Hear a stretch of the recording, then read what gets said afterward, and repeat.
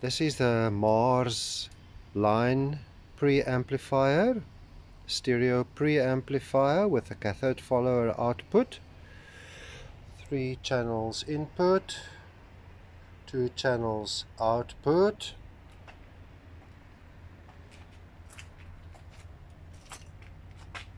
A selector for the three stereo sources, a volume control, master volume control, and from the master volume so signal signal chain will run like from the RCA somehow to the selector from the selector to the volume control from the volume control to the left and right channels input uh, tube.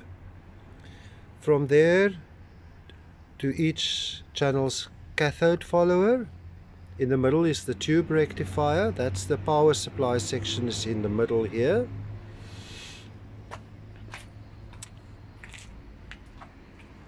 As you can see the tube sockets are quite far apart so shielding will be a special aspect to be looking at